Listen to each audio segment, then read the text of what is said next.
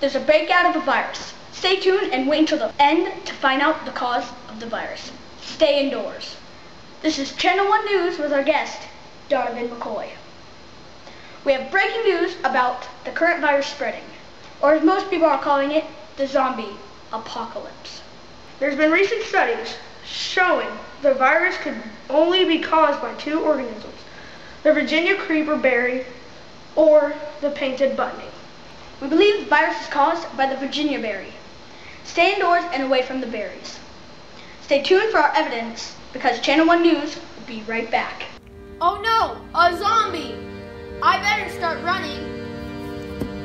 Do you need zombie repellent? Then we have the perfect product for you! It's called Bye Bye Zombie. All you have to do is spray it on you and it'll repel those zombies. Awesome! Yes, it's cheap too. Buy one now for only four payments of $99.99. Sounds easy, right?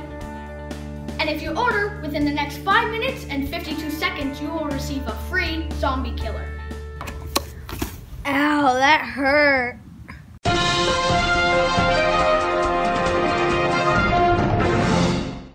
Channel 1 is back, and we are going to tell you why the virus is caused by the berry. Berry is very dangerous. We've already had a death toll of 22 innocent people. On one of the dead victims study, when they looked under a microscope, they discovered each cell had a cell wall, a chloroplast, and a mitochondrion. Each of those cell organelles are only found in the plant cells. That means what they are describing is a plant. And guess what? The Virginia berry is a plant. So the death victim study was describing the cells in a plant. I think we found our conclusion. But we haven't found a way to cure it yet. That's the scientist's job. Let's not worry about it.